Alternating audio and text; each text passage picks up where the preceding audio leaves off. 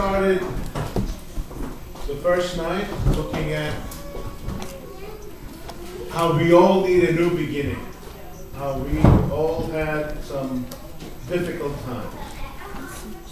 And we said, every time God gave a new beginning to his people,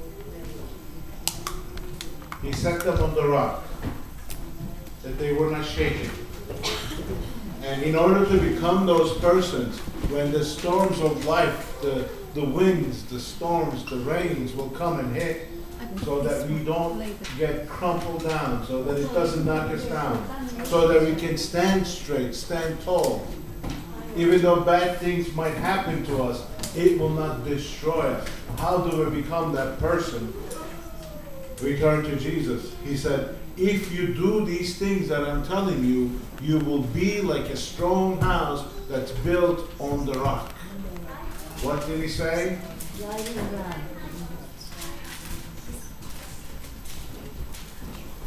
If you keep my word. Therefore, anyone who hears these words of mine and acts on them, not only hearing, but doing. When you hear something today, if you hear something this weekend, it's useless if you don't do it.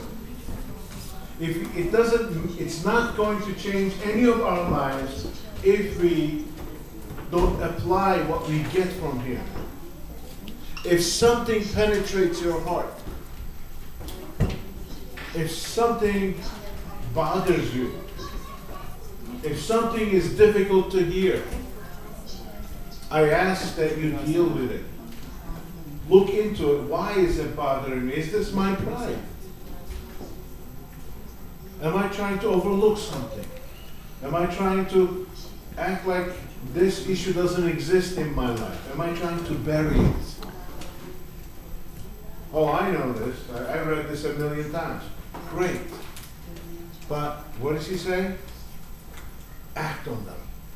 If you act on what you hear, you will be compared to a wise man who built his house on the rock. When the rain fell and the floods came and the winds blew and slammed against that house, yet it did not fall, for it had been founded on the rock. Now, what were the words? We started looking. First, he started telling us to become this person, this unshakable, strong person that's this house that's built on the rock. Rock foundation, not the sand foundation. He started building this, this character sketch of a Christian, a believer. Today, if you're here and you're not a believer, this does not apply to you. You can enjoy yourself. But if you're a Christian, you hear something difficult, this applies to you. To all of us. First, Jesus started by saying, look, in order to even become a Christian, your attributes needs to be one of humility, brokenness, poor in spirit. You desire to live righteously. You're gentle. You're a peacemaker. Even if it's going to cost you, even if it's going to mean that you're going to be persecuted, you're still willing to do the right thing. Now, these are the inner qualities of the believer. Then he spoke about our relationship to the world. A believer should be, as it relates to the world, as, as though it was salt. And it was, we said, salt preserves, it adds taste, a taste, and, um, and it, it adds flavor. We are to be like lights to the world, shining light in the darkness. You know, if, if there are certain groups that you might find yourselves in, that you are the only source of light in that group. Live accordingly. Know the responsibility that comes from that. Now he's going to talk about this Christian person as it relates to personal relationships. in between us and others. There's going to be tonight some subjects that will be hard to hear.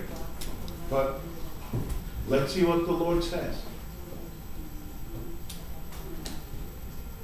He says, You have heard it said in the ancient, ancient times, You shall not commit murder. Whoever commits murder shall be liable to the court. But I say to you, now, what Jesus is doing over here is saying, You've heard it this way. You've heard something. But I'm telling you the root cause, the heart of the matter. We all know here, if you want to solve the problem, you must solve the root cause of the problem. If you have cancer, you can use as many band aids as you want, it's not going to heal you. It's the same when it comes to Christian life and what, what God wants from us. We must deal with the root causes of our problems, our issues. He said, if you're angry, uh, sorry, if, if you've heard it, it was said that it was, uh, you shall not commit murder. Whoever commits murder shall be liable in the court. But I say to you that everyone who is angry with his brother shall be guilty before the court, and whoever says to his brother, You're good for nothing, shall be guilty before the Supreme Court, and whoever says, You fool, shall be guilty enough to go to fiery hell. Now let's stop here. This is not some person teaching out of the blue. This is Jesus, who is Son of God, is telling us if you get angry with your brother, you're going to go to hell.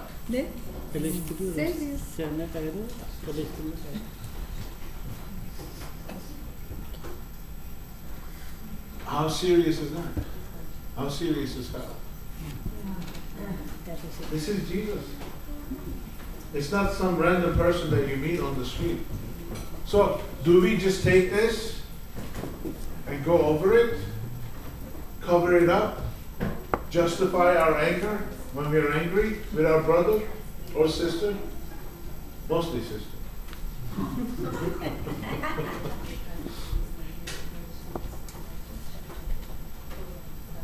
what do we do? Is this heavy? Do we excuse it away? Who here never got angry in their life? Ah, other than Pat. Okay, tell me, according to what Jesus says, are we all going to hell? Yeah. Depends. Okay, show, show me the escape clause. We all deserve hell, Steve. But if you, yeah, if you repented and accepted Christ, you, um, you've been forgiven. You're forgiven, right. So the, the issue is what? The issue is the root cause of murder is anger. So that potential for you say, I would never. But we all have that potential. Remember, we said last session that we are all guilty sinners, all in need of forgiveness. Now he's proving it to us. Well, I'm not as bad. Yes, you are. Yes, I am. We are all as bad. Unless you accept it, you're never going to be forgiven. So, if we all have the potential to murder, because we all have the potential to be angry, not a potential, it's a fact. We all get angry. How serious should we take this walk that's Christianity?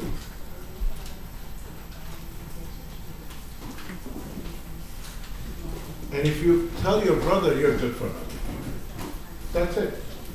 You've committed murder. Who hasn't done that? I've called worse things to people. We're all guilty of it. But this is God's standard. Is June angry? Is that why you're looking at? June, are you an angry person?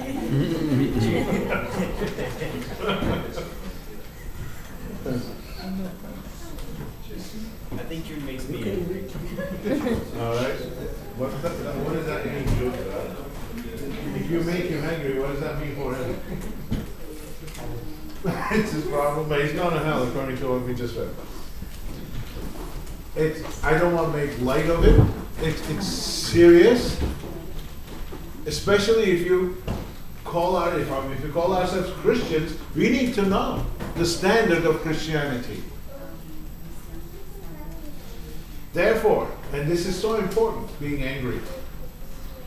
If you present your offering at the altar and there remember that your brother has something against you, leave your offering there before the altar and go first be reconciled to your brother and then come present your offering.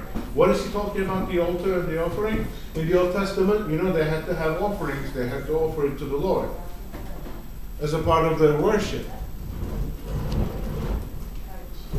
Not having an issue with your brother is so important that you should even put aside worshiping God. First, go fix the problem with your brother, and then come worship God. Heavy. I don't know how it applies to every single one of you. You all have different issues. I have different issues. You all have different connections, different relationships. But it's up to you to find out and work out what this means in your life. This issue of anger, unforgiveness. We'll talk about that or another sermon or retreat maybe. And then he explains the urgency of it. He says, verse 25, this is chapter 5, verse 25. Make friends quickly with your opponent at the law while you're with him on the way, so that your opponent may not hand you over to the judges and the judge to the officer and you thrown into prison. Truly I say to you, you will not come out of it until you pay for every last cent. It's urgent. It's very important that we live at peace with everybody. It's very important that we have short accounts with people. It's very important not to hold on to grudges days and weeks and months and years. It's very important to not to act like everything is okay when everything is not. If you have an issue with somebody, you must deal with it. If you act like there is no problem, meanwhile there is a problem, you're a hypocrite and a liar. If there is a problem, deal with it. Go talk to the person. Go Amen. deal with it. Amen. Real quickly, turn to Ephesians chapter 5.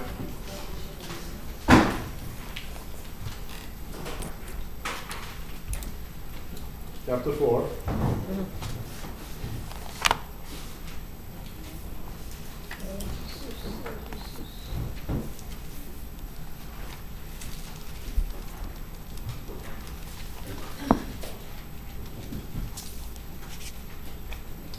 Therefore, laying aside, this is verse 25, Ephesians chapter 4, verse 25.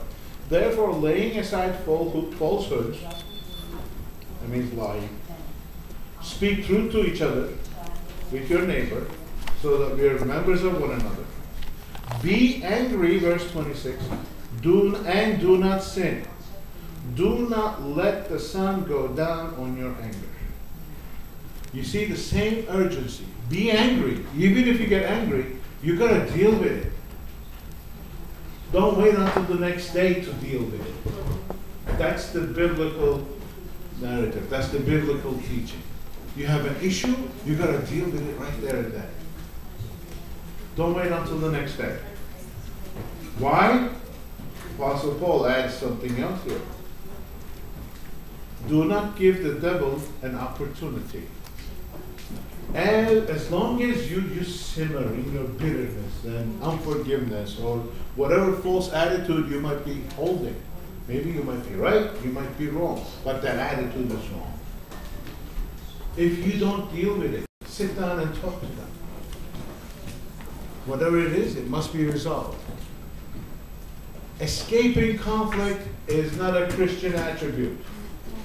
Pretending like there is no issues is not a Christian attribute because if I act like there are no issues, so I want to be seen like a nice, mature Christian person. I don't have any problems with anybody, but in the, on the inside I do. I'm a hypocrite. And I will pay the price for it. If you're acting that way, you will pay the price for it. Issues need to be dealt with immediately. Very important in Christian life. Then let's move on because we have so much territory to cover. Jesus goes into another issue. Verse 27 You have heard it said to you, You shall not commit adultery. But I say to you, that everyone who looks at a woman with lust for her has already committed adultery in his heart. This is very heavy for gentlemen and ladies. I won't go into too much because of the age variation here, but it applies to both groups. If, if you're a lady looking for attention in all the wrong ways, the way you dress, the way you act, the way you portray yourself on social media, the way you portray yourself to others, you're in very dangerous ground. And men, on your phones, in the movies, on your websites, what are you looking at? Just because nobody is seeing it, that doesn't mean God doesn't know. We are accountable to the Lord, not to other people. And I give this advice to young men. Seeing is free. Looking always has a price. Apostle Paul, Apostle Paul, uh, King David saw Bathsheba. If he looked away, that would have been the end of that. Once he looked at her, started a course of events that ruined his life and many others' lives. So remember this. You might accidentally, by chance, whatever the case, might see something or someone. But if you look, you're in big trouble. Don't move. Look away. If your right eye makes you stumble, tear it out and throw it from you. It is better for you to lose one of the parts of your body than for your body to be thrown into hell. If your right hand makes you stumble, cut it off and throw it from you. It is better for you to lose one of the parts of your body than for your whole body to go into hell. This is the severity of sin and reality of hell. Punishment. Serious stuff in the Christian life. Again, if you're not a Christian, don't be scared. This doesn't apply to you. If you're a Christian, take this very seriously. Here's another controversial issue. This is Jesus, not me. Okay? If you have a problem, you have it with him, not me. It was said, whoever sends his wife away, let him give her a certificate of divorce.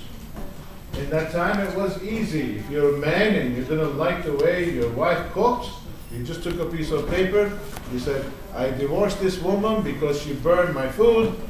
There you go, go back to your father's house. That was it. That's all it took.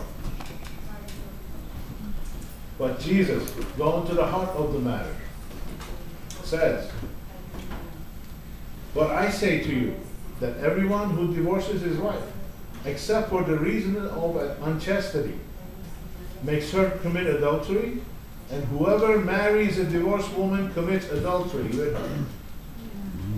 Serious issue. Christian life, yes, divorces we see, we hear, there are right cases, there are wrong cases, but Christian life, there is no divorce. So those of you who are not married, make sure you marry the one God has for you. Who's the one God has for you? Uh, an equally committed Christian that wants to walk with the Lord and serve Him. You must be equally yoked. You cannot be unequal. If you see somebody who's not a believer and you really like him, he's so cute and dreamy, and you can make him a Christian one day, don't do it. You will be miserable for the rest of your life. Okay? If you see a good looking young lady, she's living in the world, and you say, you know what, she believes in God. I, I feel it. It's like she, she has some kind of a belief inside. Don't do it. You will be miserable. Very important to be equally yoked. Amen. Again, verse 33 You have heard it said that ancients were told, You shall not make false vows, but shall fulfill your vows to the Lord. In English, we don't we don't use too many of those. In, in Turkish, they used to call yemin. It's always almost swearing, like I swear to this and that that, that I'm going to do it. And this." We say, don't do that. What is he saying? But I say to you, this is Jesus again. Make no oaths at all, either by heaven, for it is God's throne, or by earth, for it is the footstool of his feet, or by Jerusalem, for the city, that's the city of the king. Nor shall you make any oath by your head, for you cannot make one hair black or white. But let your statement be yes, yes, no, no. Pay attention to this last part. Anything beyond these is all the evil one. So, what does that mean? Yes, yes, no, no. My character has to be such that when somebody asks me a question and I give them an answer, I shouldn't have to swear to whatever or whoever. I shouldn't have to convince them with a thousand words. I shouldn't have to manipulate, gaslight, passive aggressively, force them, exaggerate, minimize. None of these. Your yes is yes, your no is no. What you say is truth, and that's it. Everybody knows that sister such and such, brother such and such does not lie. That must be a Christian's character. Oh, it's a white lie, it's not important. Please know there is no such thing as a white lie. You're either lying or you're, well, it's for business. Worse. No lying. There's no small lies. There are no medium lies. There are no pink lies, purple lies, white lies, turquoise lies. White, uh, no, no lies. Orange. Orange, thank you. Yellow, no lies. We can excuse it, and we, we camouflage lies, right? When you exaggerate something to convince the other person of your point of view, that's lying. When you undermine it or minimize it, that's lying. When you gaslight somebody, that's lying. You know what gaslighting means? No. I know what flashlighting means. Flashlighting. Treating somebody in a way that they question themselves. A lot of narcissists do it. Anyway, we'll talk about it in a minute. Uh, being passive aggressive to manipulate people. Not really saying things, but staying away. Or being quiet. You know, the silent treatment. That's lying. That doesn't befit a Christian. Our yes is yes, our no is no. That's it. That's the kind of people we have to be. When Pat says something to me, he doesn't have to swear up and down heaven for me to believe him. I believe him. Do you? No. Oh, Ay aslanım. Of course. So that's how we have to be. You see, when we started the first night, i- is, is, is there a picture of a person, a character attribute forming in your eye of what a Christian should be? And if any of these things, if any of these things that we're reading here is zinging in your heart, you have to deal with it. God is trying to get your attention to that issue. Benjamin Franklin, very famously one day said, the zing in every rebuke is the truth. If something is zinging your heart, that might be the Holy Spirit nudging you. Hey, you have this issue. Deal with it. Confess, repent, change, grow, whatever it is. All right, let's continue. Another issue. Well, this is a tough one. Verse 38. You have heard it was said that for an eye for an eye and tooth for a tooth. Mm. If somebody takes your eye out, you have to take his eye out. Right? That's how we understand it. Actually, the actual law doesn't say you have to take his eye out. The actual standard is you can't take anything more than his eye out. It's a limit, it's not a license. That's another issue. But that's what people believe. If he broke my arm, I'm gonna break his arm. But I say to you, this is a tough one. Do not resist an evil person. Whoever slaps you on the right cheek, turn the other to him also. If anyone wants to sue you for your shirt, let him have your coat also. Whoever forces you to go one mile, go with him too. You know where this comes from? Go one mile, two mile. When the Romans occupied Jerusalem, they passed a law. If a Roman soldier came to the local public and he asked them to carry his weapons or if there was a load that he had or his shield and all that stuff, every citizen of that country had to carry that soldier's equipment for one mile. That was the law. This is what Jesus is referring to. He's saying, if he asks you to carry it one mile, you carry it two miles. You don't like it, right? No, because it. Tell me, tell me. How did they said, okay, you have to give $100 for the tax. Now I pay 200 Sure. Just give him, you can handle, I'm sure. what? What's it? I missed that. The issue is, as you can see, he's talking about being a giving, a generous person. It's all going to go to waste anyway. He's going to talk about our money too. But. And, he's calling us to be relaxed people.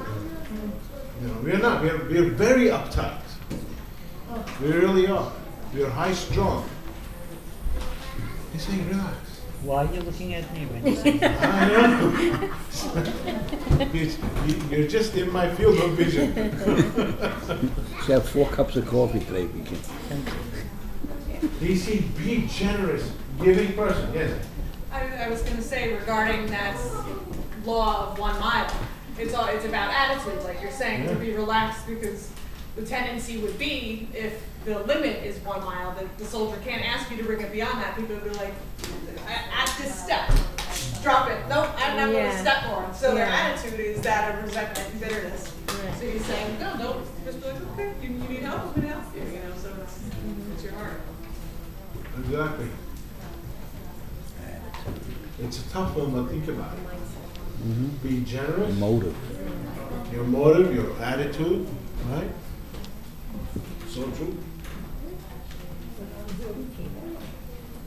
Give to him who asks of you. Do not turn away from him who wants to borrow from you. All right, I'm gonna ask you a question. Uh, It's up to you to decide. There's a beggar. He's homeless, he's a drug addict. You, he's asking for money, and if you give him money, he's gonna use it for drugs. What are you gonna do? Take give it to him him. down, Buy him the food, don't give him the cash. Well, he, he didn't say he needs it for food. He just wants money. Yeah, he doesn't want the McDonald's. Jennifer, what are you gonna do? What do you think?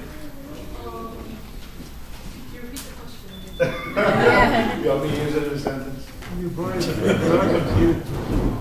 If Jesus says, whoever asks from you, give it to them. let them kill You know, don't turn them away.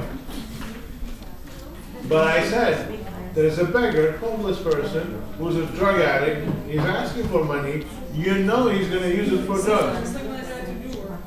What are you gonna do? Yeah, You exactly. buy him drugs, so he kill himself. You should, no, I don't think you should buy drugs.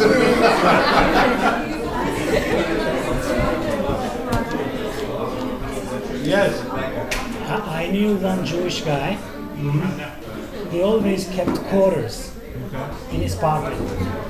Whoever asked money that he knew if they were going to buy drugs, he gave him 25 cents and he walks away. Not enough to buy. okay. I don't know, that's the Well, solution. good thing he's not Christian then.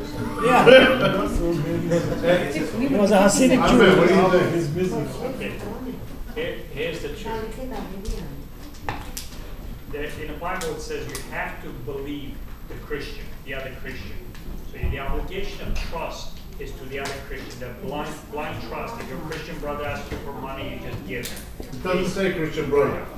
So the blind trust is only uh, granted to Christian brother. So if it's not Christian person, if it's not believer, you have two choices. Either you give it blindly, you don't hold the- the other person responsible how he's gonna use the money. You did your part, you gave it, you don't take care of responsibility. But if you really care for it, the only thing that would prove that you really care whether your gift that you give him is for the goodness or not for good uh, or for bad thing, he's going to do drugs and stuff, and you should put in the diligence of acquiring, laboring. You need to put the labor, the time, the efforts to find out what is he going to use it for. He needs hungry, take him to a restaurant, feed him, uh, and so if you're not going to put all that labor to find out, just give it to him. But if you really, really want to know whether it's going to be used for good stuff or not, then put in the labor work for it, work hard and find out and help the guy and give the money.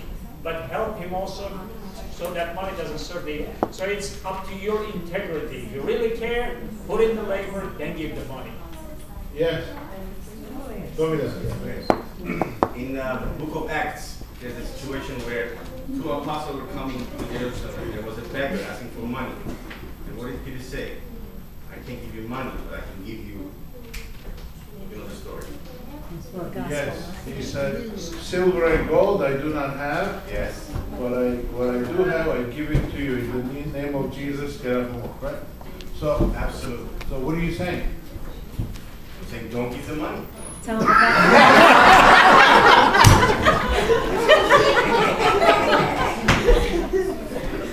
He's saying, he's saying, tell him the gospel message, like tell him the saving message. That's what you got out of that illustration. All right, well, the answer is, I don't know. I, I, I don't know. I think every situation is different. This is one of those situations where you say, Lord, should I give him not? He'll tell you. That's why we need to have that ongoing connection. First Pat, then Jennifer. Yes, Pat. Um, I'm, I'm gonna back up Armin's uh, answer. Uh, Okay. he's correct, as far as, as, as far as what I see. Uh, I was put into a situation where I was giving a Christian money, but I didn't know he had a secret or, or a hidden drug addiction on the side. So in a, in a sense, I trusted him. Nobody knew he had a drug addiction until he uh, he was found in a crack house and he wound up in the hospital. Uh, but as Armin was saying before, and I agree that it's, I think God is going to judge us, even if we gave uh, wrongly, no, uh, not wrongly, but uh, uh, without knowing, right, um, out of ignorance, let's say. Uh, but it's the motive of our heart that, that He's going to judge. In other words, we gave out of the good intent, but that person used it for the bad intent. Yeah, Okay, so um, I backed my brother over there. Jennifer. So uh, when I drive to my college in New York, I see beggars often on the streets. Um, that was my window closed because I don't know what they need. Like if I had like water or food in my car, I give them a bottle of water instead of money. If it's if they get money, they might use it for cigarettes and things like or like drugs. And I often see this exact same person on the same corner of this territory. Like it's their job. They Yeah. It's a lifestyle. Like that. Yeah, yeah. And uh, so like, I don't know what if I give them money and they use for drugs, I'm making the situation worse for them. So I'd rather get nothing because if I do give, it'll make their lives worse. So I'm making the situation worse. Another thing, like, since I'm a female, it might be actually Yeah, dangerous if I take a homeless person, Yeah. bring them to a restaurant, it's my own home, because they might harm me or Yeah. harm my family members. So You do need wisdom, of course. I, I also gave a very drastic example. But, uh, yes, Jennifer. I don't know what you feel like when you want to help someone who's begging. My thought is, I'm a generous person. The one is always five or ten. Hmm. And I open my wa- wallet and say, Lord, reach this person. Yeah. Then I give him the money, say, in the name of Jesus, hmm. turn to him, give him money. Hmm. That's it. That's my way of dealing with this. Perfect. That's good. I agree. Is that a hand up? Oh, it's a camera. Oh, is that, are you saying something? Yes, I, I just want to add one more thing. Yeah, Uh, all my life, I had money. And whenever somebody asked me, I gave it to them. I gave it to them. I gave, it at the end, now I have no money, but I have Jesus. there you go. Now it's time to give them Jesus. That's right. What I do have, I'll give it to you, right? So, but this is a drastic situation I created just, just to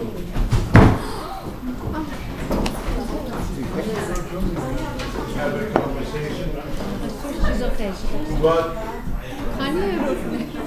what Jesus probably has learned was if your neighbor came, asked for some flour, some sugar, or your friend needs help, or, uh, you you know, somebody you know needs, needs a hands up, that's what he's talking. Don't be stingy. That's, that's the point. Yeah, but Don't be cheap, be generous. But you started mentioning different ways. Yes, yes. As a habit, right? Yes, I, I, I used a very problematic information. For the American government, you can take care of San Francisco. All right, how That's we going to solve that problem? No, it's, this is not for us to solve the homeless problem. This is not about the problem, this is about us. Yeah, but if Yeah. you said, uh, whatever you said now, the last sentence, Yeah. that was a different story. Right, right. But he's talking about the attitude of the heart. Right. You know, it should be one of generosity. It should be gener- one of giving, comfortable, easy, being an easygoing person. All right.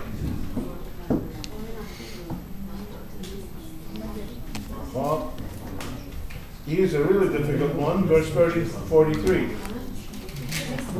What's that, sorry? Uh, five. You have heard it was said that you shall love your neighbor and hate your enemy.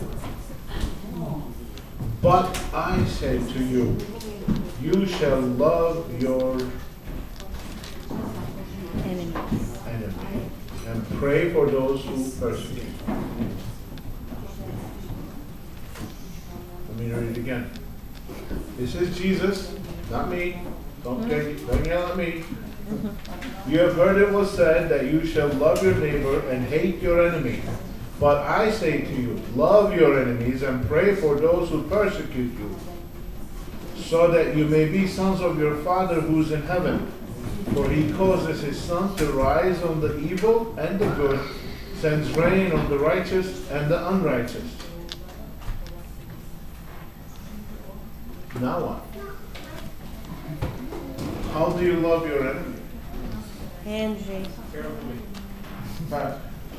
Can I throw a question at you because Oh, yeah. I got think I think this one is actually more difficult than the last uh, commandment that you gave us. Um, when you say love, what define what kind of love you're talking about? You're not going to be say Juliet wronged me and she you know slashed my tires. and say, Hey, my good buddy Juliet, I love you. You know, I mean it's not going to happen that way. Not lovey dovey. You No, it's what what what what would you?